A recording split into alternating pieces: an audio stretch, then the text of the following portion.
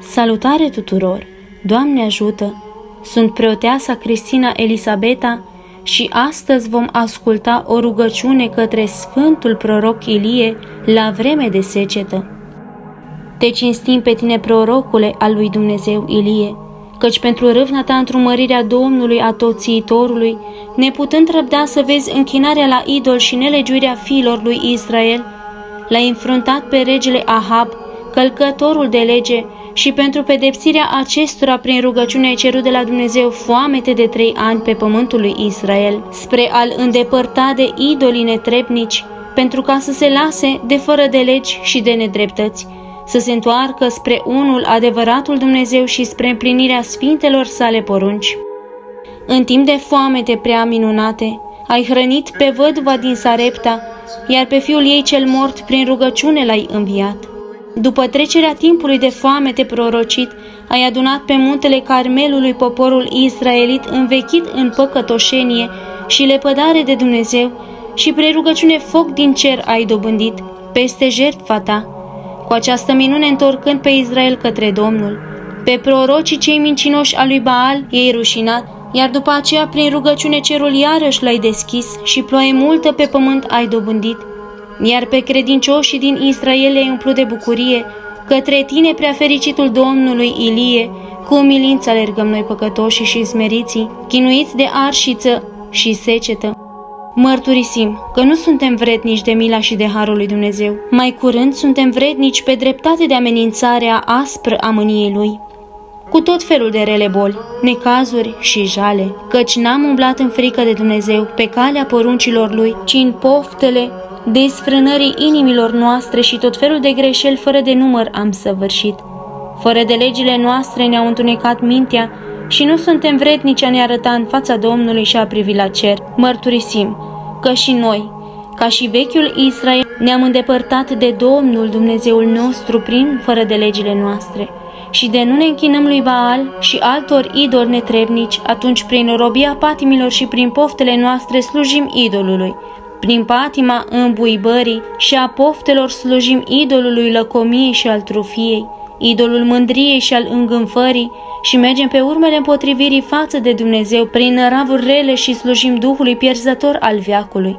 Mărturisim că pentru aceea s-a închis cerul și s-a făcut ca arama, fiindcă s-au închis inimile noastre în fața milei și iubirii adevărate față de aproapele nostru. Pentru aceea pământul s-a uscat și s-a făcut neroditor, fiindcă nu aducem Domnului nostru roadele faptelor bune, de aceea nu ne dă ploaie și rouă, fiindcă nu avem lacrimi de umilință și rouă dătătoare de viață a cugetului către Dumnezeu. De aceea s-au veșteji toate bucatele și toată iarba câmpului, fiindcă s-a uscat în noi tot gândul cel bun.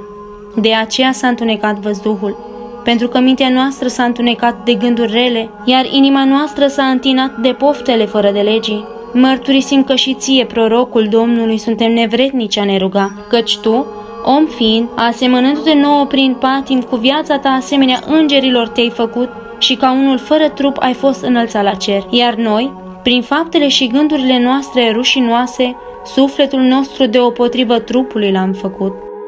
Tu prin poși și privegherii ei minunat pe îngeri și pe oameni, iar noi ne-am făcut rob necumpătării și poftelor. Tu răvnei la slava lui Dumnezeu noi însă ne depărtăm de slăvirea Domnului și Creatorului nostru și ne rușinăm a mărturisi preamărit numele Lui. Tu ai stărpit necinstea și deprinderile cele rele, iar noi ne robim năravurilor lumii, potrivnice Domnului, mai vârtos decât poruncilor Lui și a rânduielilor bisericii.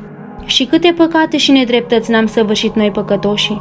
Prin păcatele noastre am istovit îndelunga răbdarea Domnului. Pentru toate acestea, dreptul judecător s-a mânia pe noi și în mânia lui ne-a pedepsit. Deci, cu îndrăzneală mare față de Dumnezeu și nădăjduind în iubirea ta față de neamul omenesc, cutezăm a te ruga, mărite prorocule, milostiv fi față de noi nemernici și nevrednici, roagă pe tot bunul Dumnezeu să nu se mânie pe noi până în sfârșit, ca să ne piardă pentru fără de legile noastre, ci să ne trimită pământului însetat ploaie înbelșugată și curată, și să ne dăruiască roadă bogată și bună întocmirea văzduhului. Mijlocește mila împăratului ceresc, dar nu pentru noi păcătoși și nevrednici, ci pentru aleșii robii lui, care nu și-au plecat genunchii în fața lui Baal, al lumii acesteia, pentru blândețea și curăția copiilor, pentru dobitoacele cele necuvântătoare și pentru păsările cerului care îndură din pricina fără de legilor noastre și pierd de foame, de arșiță și de sete.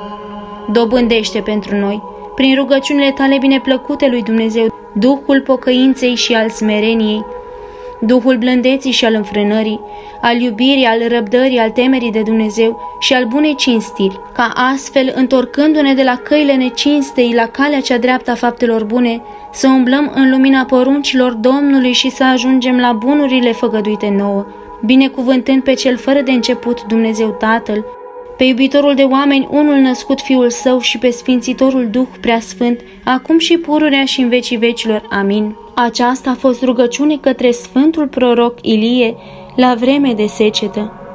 Până data viitoare vă îmbrățișez cu drag și vă doresc o zi binecuvântată. Doamne ajută tuturor!